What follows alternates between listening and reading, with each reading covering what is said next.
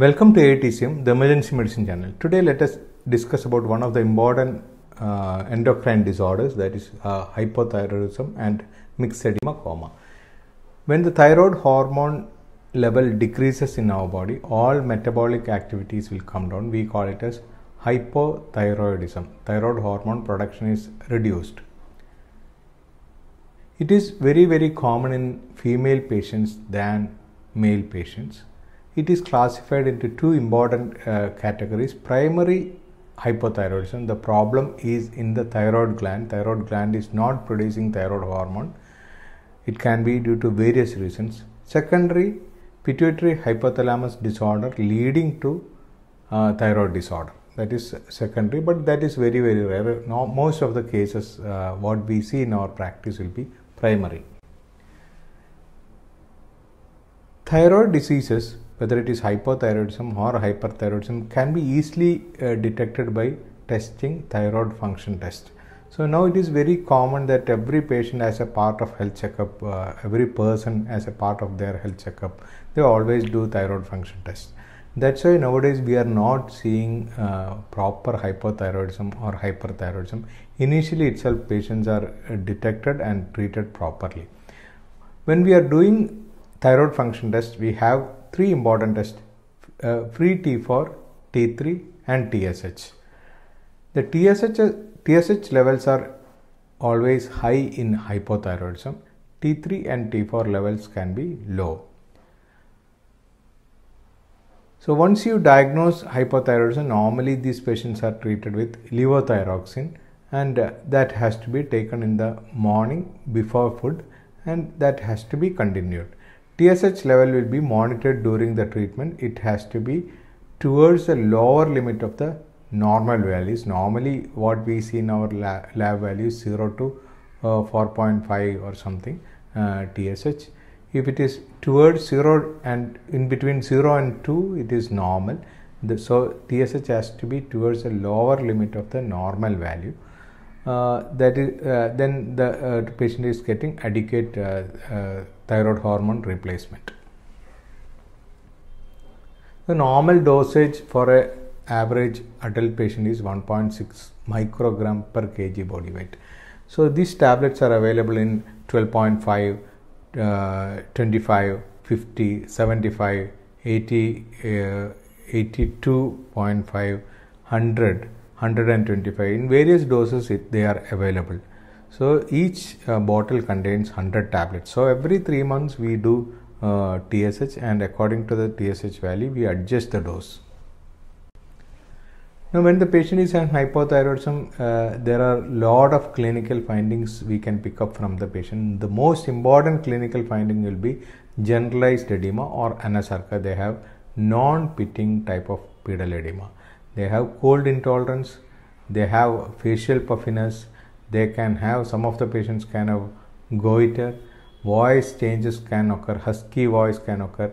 Heart rate is typically reduced. It is bradycardia carpal tunnel syndrome can be there in many patients menorrhagia is classical constipation is very very common and patient always complain about weight gain these are the common findings in uh, hypothyroidism just opposite occurs in hyperthyroidism because all metabolic activities are increased so symptoms are uh, weakness dry skin uh, hair loss cold uh, peripheries and co- uh, feeling cold patient always complaining about uh, cold intolerance poor memory difficulty in concentration dementia depression weight gain poor appetite constipation dyspnea hoarseness of voice impaired hearing menorrhagia paresthesia loss of libido infertility depression psychotic disorders Signs again dry skin, cold peripheries, vitiligo, alopecia. These are part of uh, some autoimmune diseases.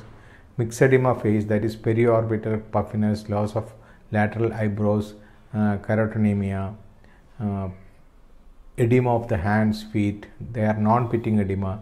Heart rate is low. Patient can have severe bradycardia. Delayed tendon reflex that we'll see afterwards. Carpal tunnel syndrome. They are entrapment neuropathies. They are very common in hypothyroidism, pericardial effusion, pleural effusion, cerebellar disorders. So that cerebellar disorders are not very common, but untreated patients can have.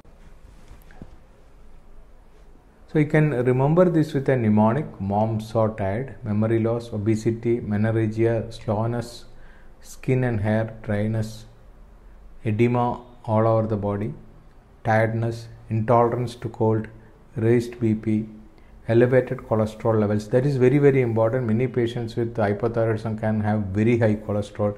If you treat them properly, the cholesterol level will come down without any statins. Delayed tendon reflexes, depression.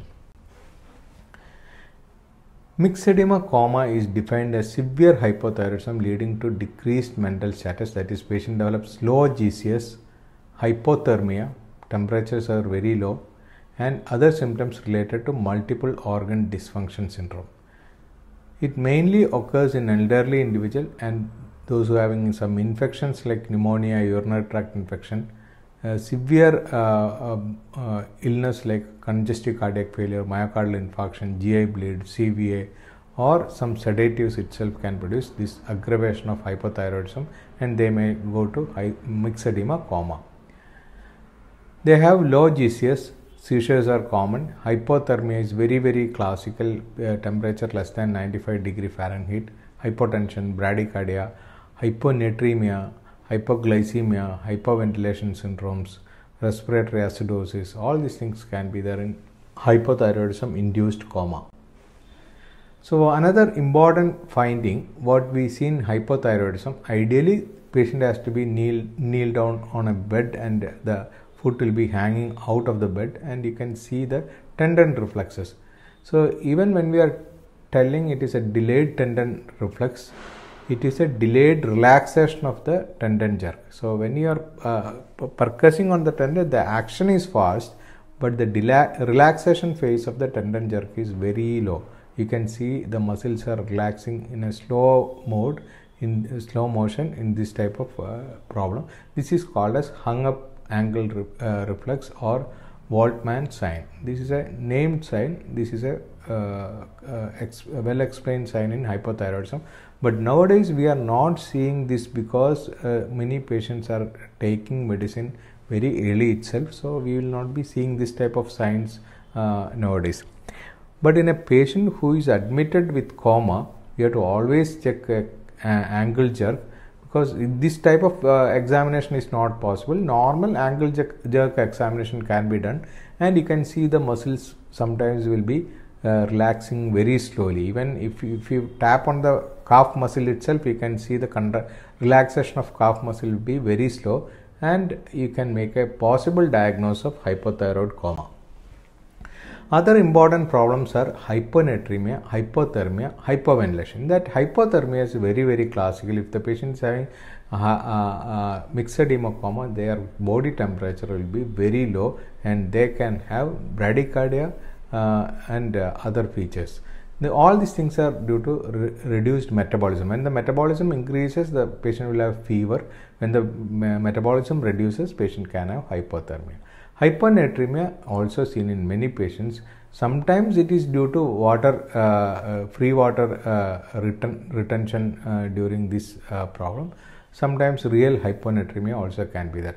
But uh, many patients may not require any treatment for hypothermia, sorry, hyponatremia in myxedema coma. But if the patient does not improve with your routine treatment, then you have to take care of the hyponatremia part also. Many patients can have hypoventilation uh, ventilation if uh, some of the patients are very obese and they can have obstructive sleep apnea syndrome also and uh, patients who is having hypo, uh, uh, hypothyroidism for a long time they have uh, airway obstruction only because of this obstructive sleep apnea type disorder. So hypoventilation can be due to respiratory center depression or due to obstructive sleep apnea related problem. Some of the patients can have severe hypoglycemia. Hypoglycemia occur due to uh, due to uh, hypothyroidism alone or uh, by concurrent adrenal insufficiency due to autoimmune adrenal disorder or hypothalamic pituitary disease or some sepsis. So sepsis itself can produce hypoglycemia. Hypothyroidism can produce hypoglycemia and some uh, uh, adrenal insufficiency also can lead to hypoglycemia but many patients who is having hypothyroidism they are actually diabetic. Most of the hypothyroid patients can have diabetes also. Cardiovascular abnormalities are very very common in patients who is having hypothyroidism. They can have ischemic heart disease, they can have bradycardia, they can have conduction disorders, block. So all these uh, conditions can come in patients who is having hypothyroidism. But classical thing is bradycardia with some ECG, STT changes, T wave inversion can be there. Only thing is that uh, if the patient is having hypothyroidism with cardiac disease, when we when we are giving thyroid replacement hormone, there can be tachycardia, and that tachycardia sometimes create more problem because patient is having already pre-existing ischemic heart disease. If we are rapidly increasing the heart rate uh, with thyroid hormone, some of the patients can develop complication, but that that, that is acceptable because if we keep the patient in uh, that uh, low metabolic mode, they can have a lot of uh, problems, including multi-organ dysfunction. So better to treat the patient first, but we have to anticipate problems in cardiovascular problem. Mortality rate is 50% uh, if uh, it is not treated well. CSF normally we don't do, but if uh, due to some reason like patient is having altered behavior, some of the patients may be subjected to uh, lumbar puncture, you can see elevated protein. This is one of the condition where you get elevated protein without elevation of the cells. So that is explained in various other conditions uh, like GBS and all. It is explained albuminocytological disorder. Same condition here also you can see. Other investigation lab test TSH will be always high if thyroid gland is not working properly. Thyroid stimulating hormone levels will increase to stimulate thyroid gland. So TSH is always high. Free T4 is low. Low serum cortisol is seen in many patients uh, that uh, that may be uh, because of uh, uh, adrenal insufficiency. Blood sugars are uh, some of the patients they can have low blood sugar. Some patients can have very high blood sugar because of diabetic ketoacidosis.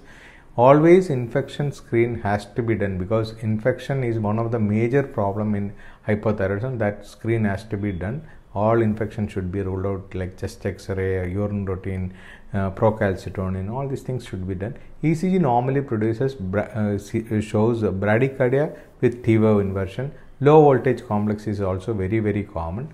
Cholesterol levels are mostly elevated in hypothyroidism and you can see here we will see uh, a TSH level uh, that is elevated free T4 it is elevated then it is hypothyroidism so hypothyroidism, uh, TSH is elevated, then free T4 is low, hypothyroidism.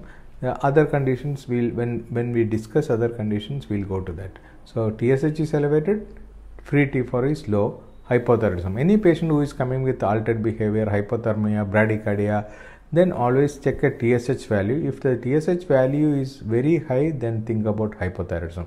Especially when the patient is having hypothyroidism and they are on some drugs, if they come with some severe infection, they might have missed one or two tablets of hypothyroid uh, uh, hormone, then they have a higher chance for uh, myxedema coma.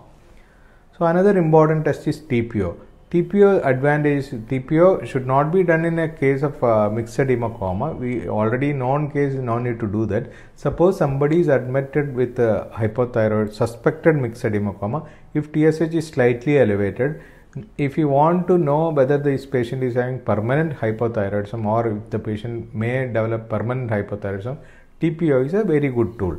Actually, TPO is not a uh, advisable investigation in a case of myxedema coma, it is a, a, part of investigation in hypothyroidism. If TPO is elevated, then it is a immune mediated hypothyroidism.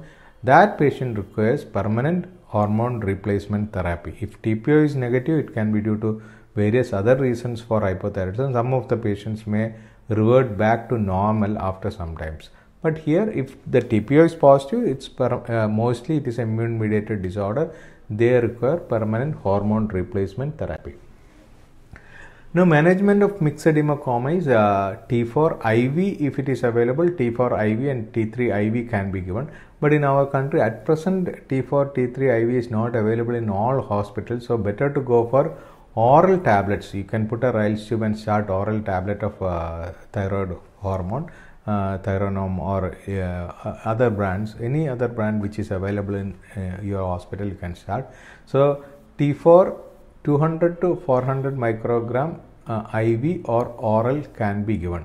So uh, T3 also can be given 5 to 20 microgram. Uh, that also not may not be available in every hospital, but uh, T4 is available. Tablets are available everywhere. You can start tablets.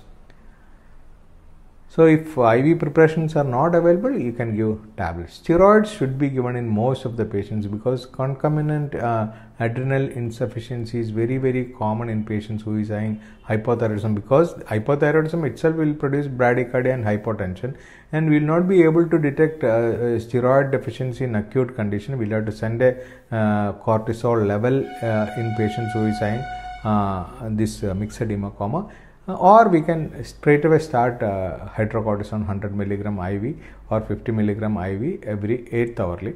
So that should be continued and BP can increase with hydrocortisone in adrenal insufficiency. External warming is very very important. Whatever way we can do external warming should be done for the patient uh, and uh, we can give whatever IV fluids we are giving that should be warmed. We have to be very careful in patient who is having hypothermia. In ECG, sometimes you can see Osborn waves also.